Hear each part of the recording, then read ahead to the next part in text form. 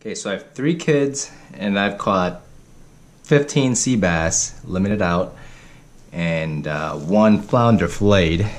Now, we can't eat everything even with three kids and a wife to feed.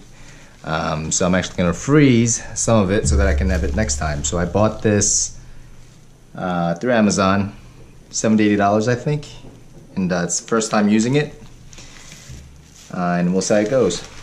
So there's about 6.2 pounds of fish and I'm actually not sure how much we eat at a time so I'm just gonna figure six pieces. This is sea bass. Flounder I think we're just gonna eat and not freeze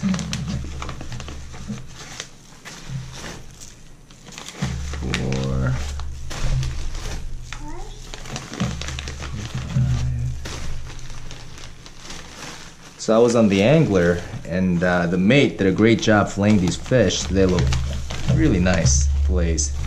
Not much bone in them, which is good for the kids.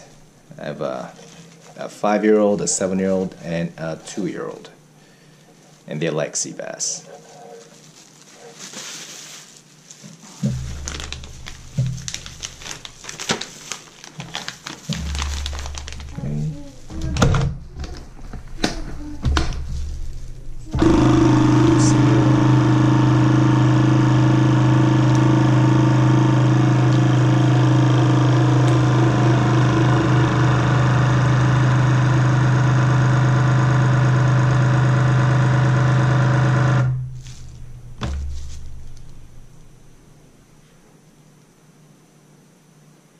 So I have it set to moist, normal, and I just did uh, a vacuum seal and then it sealed itself after.